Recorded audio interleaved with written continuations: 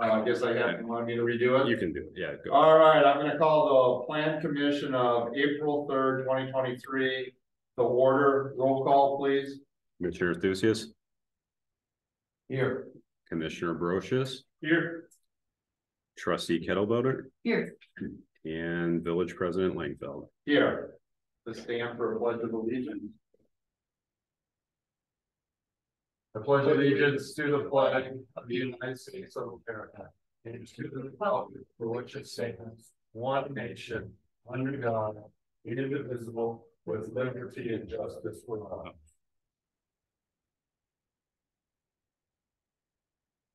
Okay, we're at public comment. This is an opportunity for anyone to address the plan commission on any issue. Please observe the time limit of three minutes. While the plan commission encourages input from residents, it may not discuss or act on any issue that is not duly noticed on the agenda. So does Bobby want to speak now, or are you just gonna read the email? Nope, she's on here, says she wants to speak. Go ahead, Bobby. Go ahead, Bobby. Um, can you hear me? Yes, Yes, Okay, uh, my name is Bobby Zonner. I live at twenty-one thirteen Maple Street. I would like to speak in support of private wells in the village of Cross Plains, specifically as it relates to future developments in higher elevations in which a village water system is not financially feasible. As it has been pointed out to the community and to the village board of trustees, the village is nearing the levy limit in which we can levy our taxpayers to support village operations. Currently, state statute only allows increases in the levy limit based on growth in the village. If we do not consider private wells at high elevations, we are severely limiting our future growth opportunities. As a result, the village may be forced to go to referendum to support current village operations when we have reached levy limits. Furthermore, in September 2017, the village's future land use map and the comprehensive plan was amended via ordinance number 04 2017 to show the land area north and west of Laufenberg Boulevard as single family urban, which allows for private wells and public sewer. I recall attending a meeting during this time frame in which an expert was brought in who stated that Dane County private wells all pull from the same aquifer. So if there was a contamination issue, it would be a very widespread issue. I would think that if this extremely rare instance were to happen, county, state, and or federal funds would be available. The village does have the authority to limit the use of private wells to homes within or above a certain elevation. So it is not like we need to allow them throughout the entire village. Thank you for your time. all right, thank you. All right, we'll go, anybody else? Uh, there wasn't any other comments. is there anybody here that would like to speak? I, I think you're all here for the one item, all righty. All right, general business, number one, approval of the minutes from the February sixth, twenty twenty-three plan commission meeting. Do I have a motion? I'll make a motion to approve the February minutes. Right, second. All right, I have a motion and a second. Any discussion? All in favor, say aye. Aye. All opposed, same. All right, number two, discussion park bank concept plan site implementation plan. Someone like to come up and speak? Sure.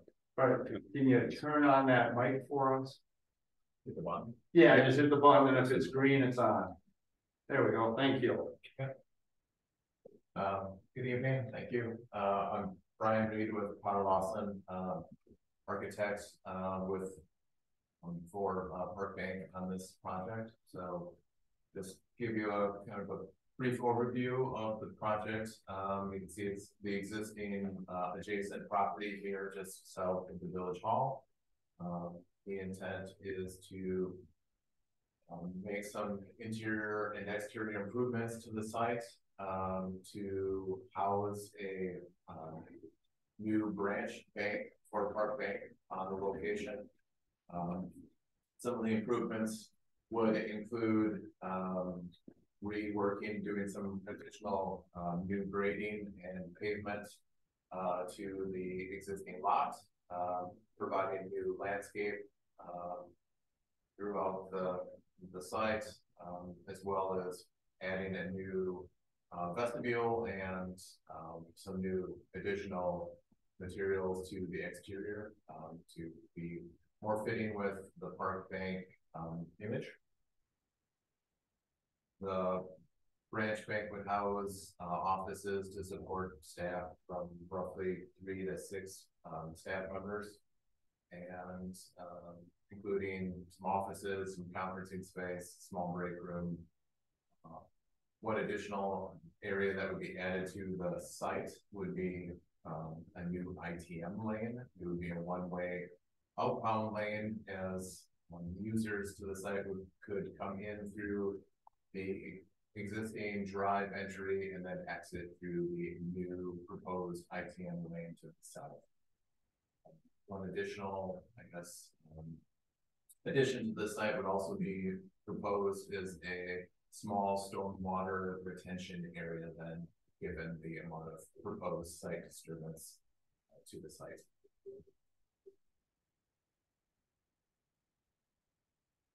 And that driveway fits in the space that, that's out there.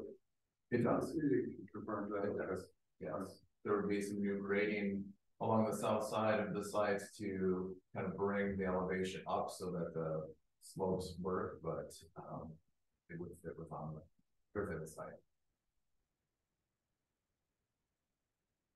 And I know there was, uh, this didn't quite meet the parking requirement, so you were looking to do, uh, waiver or conditional use to deal with it.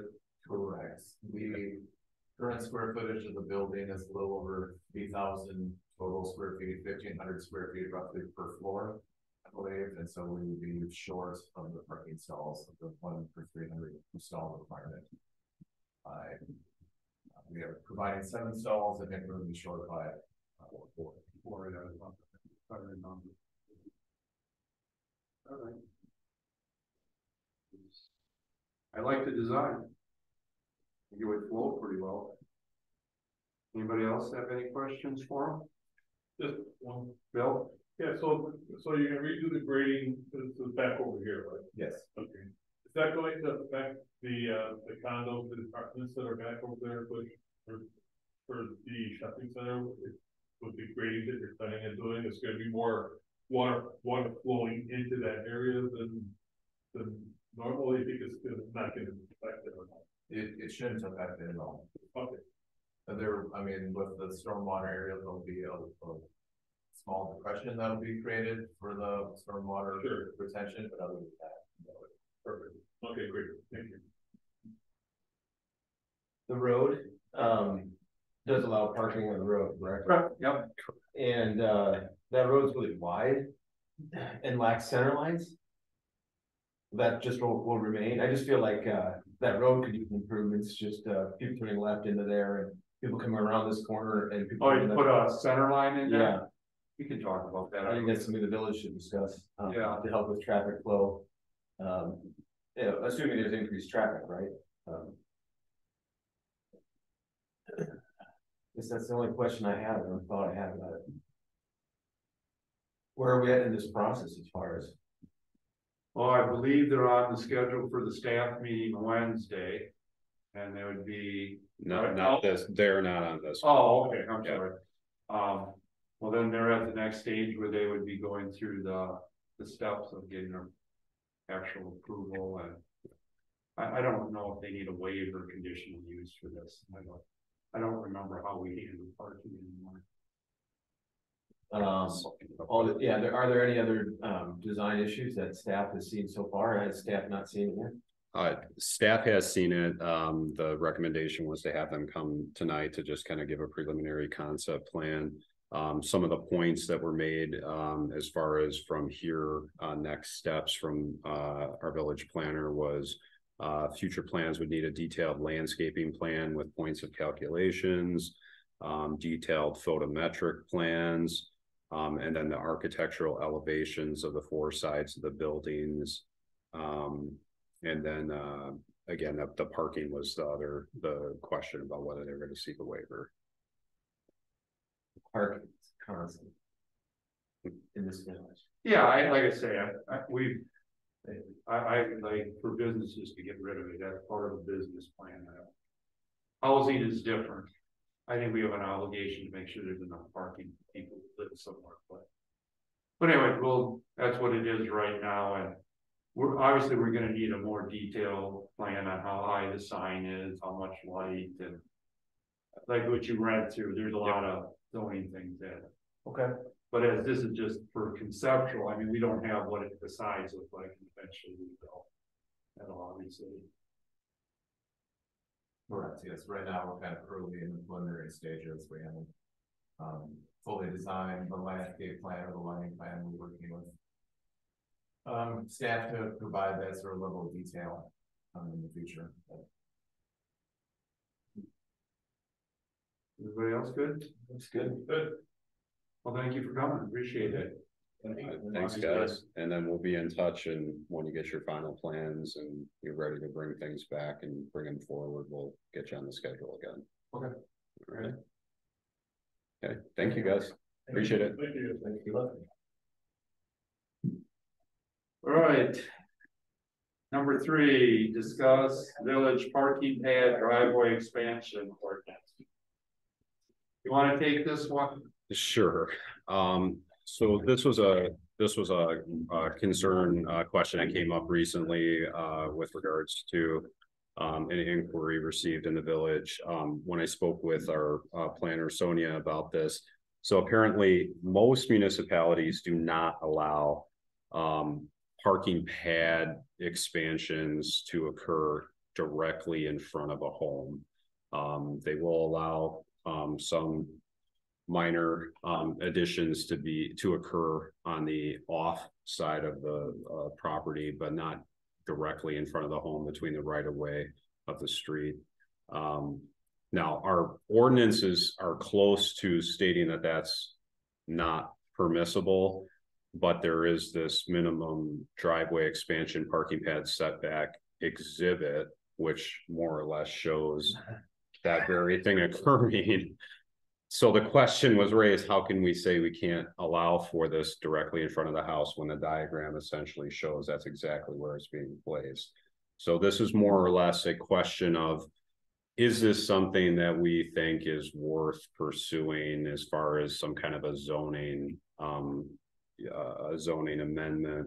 Um, or are people comfortable with, it's, it's, doesn't happen often, but it does, as it currently stands, looks like we would have to approve it if anyone did pur- pursue something directly in front of their home. It's more or less just a discussion item. I, I think we should, I don't think we should allow pads like that. I, I agree. I don't think we should allow a pad as shown on the left side of the. Right. Right. Uh, what about the pad on the right though? That's not clear to me. Is that currently allowed or not? Yeah, allowed? that's an There- apron. Yeah, that's A lot of places. Yeah, That's what I don't have. that one I've seen, I've seen more of that. I can't remember seeing anything. And that's kind of off to the side of the drive of the Yeah. garage. You know, the one that's right in, that's their front yard. It's, yeah, between the. The sidewalk, if there is one. Or the front entrance to their house, is what it sounds like to me. Correct. And then, um, on the right side would be in front of their garage or Mhm. something else, Side it. yeah. Yeah. If, I guess if it did the same thing on the left, it could go up, you know, you know, half that way. Yeah, I don't, I see the parking pad, I see why they, why we, we wouldn't want it, why other communities don't want it, and I would agree that we look at getting rid of that allowance. It could very well have been that the intent of the diagram was just to show the two options that can occur in front of a home. It wasn't to recommend that it can happen directly in front of a house. But be that as it may, the picture shows that, so it's gonna be hard to say to someone, you can't do that. Okay. Bill? So remember a couple of years ago, we talked about, um, parking during snow and having to remove vehicles and. You know, people that have smaller homes don't have, you know, driveway to be able to pick up three cars, they can't park, you know, they gotta park on the street or they gotta. Find another place to park or park in their yard, was an answer that we gave them. Yep. That, I mean, I'm just playing devil's advocate. No, I get what you're saying. And, and, I mean, I can see for someone who has three vehicles in their home, you know, they're in a- still, still in a smaller home, they would. Want that, I don't, I'm not advocating that we do that, but I can see why they would want something like that, because we don't allow for, you know. for them to park on a, on the street during heavy snowfall over two inches, right? Mm-hmm. So that's just, I mean, I like the one on the right, I'm not a fan of the one on the left, but I see why someone would argue for that. Well, I can see the use of that, but the question is, you know, to me, on those snow emergencies and stuff. We don't enforce if you park on the, your yard, even though I, I wouldn't do that anyways, but, um. I think when you do the snow thing, you're right, what is that, eleven times a, a year maybe? Um, here, if we, to me, if we allow it, we are just gonna have a lot of houses with, look like used car businesses. Yeah. Or boat trailers, Yeah, boats. Yeah, Yeah, that's true. Yeah. now I personally would not, I think that would lower the value of your home, you don't have much. Uh, street appeal when you have a big slab of concrete as your front yard, but. Again, I, I think we gotta look at what do we wanna do as a village, and I'm kinda with the majority is that I would not allow it. And, you know, I would even allow if people wanted to do aprons, if we would do a waiver or conditional use where you don't need the the fourteen, or the ten, or the uh, seven feet difference, you know, make it four or something like that. You know, I could see adjusting it where they give more incentive to put it on the side, but I would clearly eliminate that one in front. Yeah, and I don't, I don't really like. The diagram that's on here, because I agree with- with you, Jay, that I'd rather see it.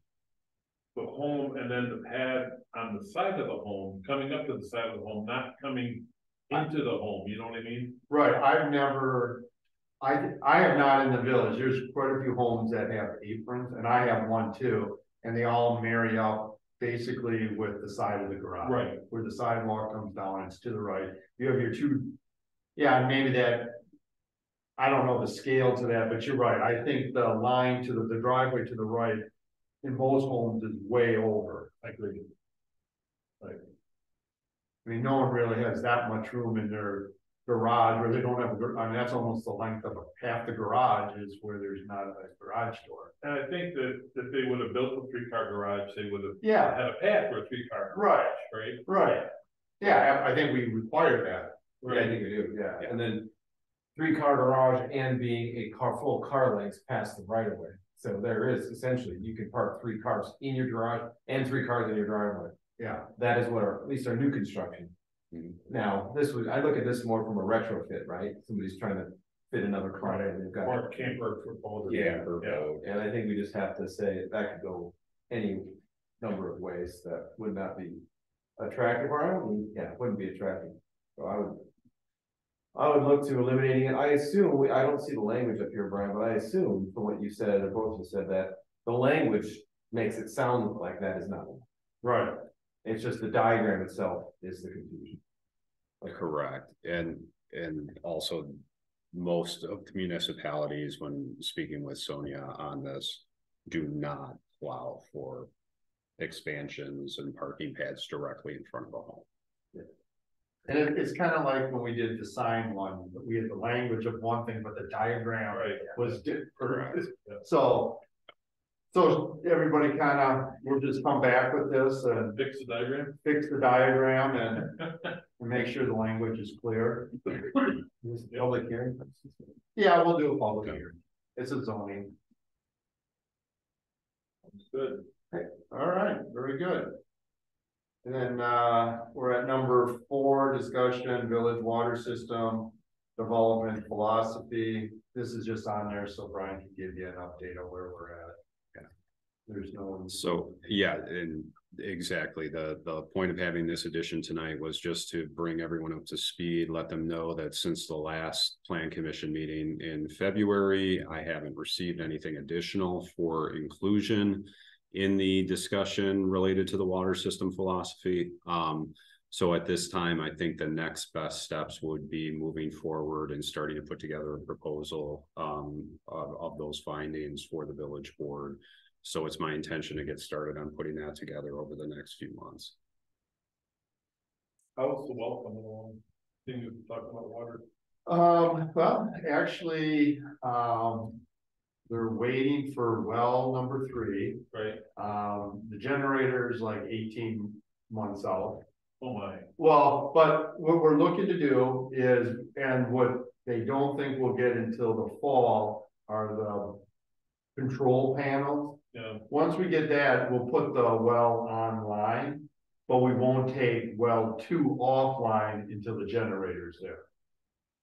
I, didn't think we were taking well too often. We have to uh, update it. Oh. Remember we- Yeah, yeah, yeah, yeah, yeah. So the bathrooms should be just about done. They were talking about getting done that in the next couple of weeks.